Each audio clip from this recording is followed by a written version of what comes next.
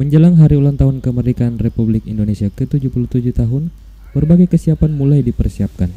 Tak luput juga dari kesiapan para pasukan pengibar bendera pusaka Indonesia atau yang dikenal dengan Paskibraka.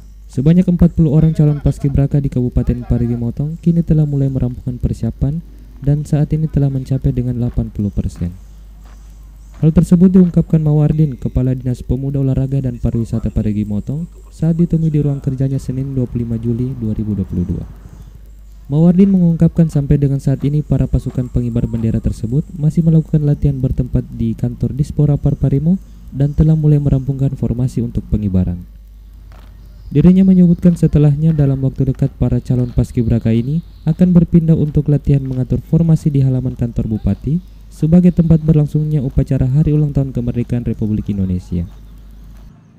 Di, di Par ini untuk persiapannya sudah jalan mulai dari seleksi, seleksi kemudian pemanggilan peserta.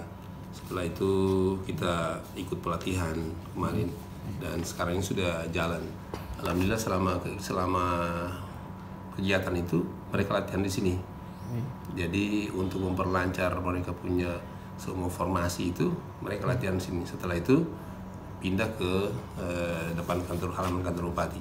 Kalau mau dilihat itu sudah sekitar 70-80 persen, tinggal kekompakan. Jadi untuk untuk latihan apa namanya PBB-nya itu hmm. itu sudah sudah hampir eh, apa namanya sudah kompak. Tinggal formasi mau masuk di eh, halaman kantor bupati itu itu yang sementara mereka latihkan iya. sehingga eh, harapannya itu tidak pada satu upacara tidak ada yang keliru. Mawardin berharap sampai dengan pelaksanaan perayaan Hari Kemerdekaan nantinya tidak ada kendala apa pun sehingga acara dapat berlangsung sebagaimana yang ditargetkan. Dari Parigi Motong, Parigi Podcast TV melaporkan.